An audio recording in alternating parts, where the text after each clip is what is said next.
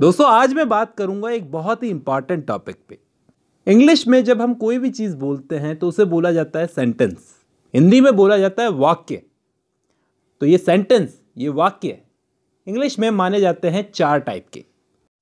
पहला टाइप वो, जिसमें हम कोई स्टेटमेंट देते हैं, यानी कोई डिक्लेरेशन करते हैं, जैसे Humpty Dumpty sat on wall ये एक स्टेटमेंट है। ऐसे सेंटेंसेस को डिक्लेरेटिव सेंटेंसेस बोला जाता है। दूसरे टाइप के होते हैं जिनमें सवाल पूछे जाता है।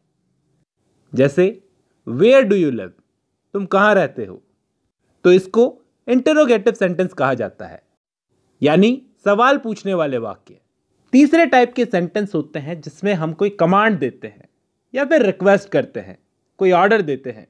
जैसे बी क्वाइट ये कमांड देना हो गया।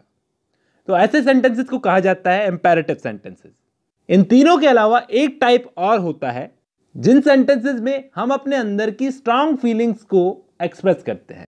जैसे how cold the night is कि रात कितनी ठंडी है वट अ शेम कितने शर्म की बात है।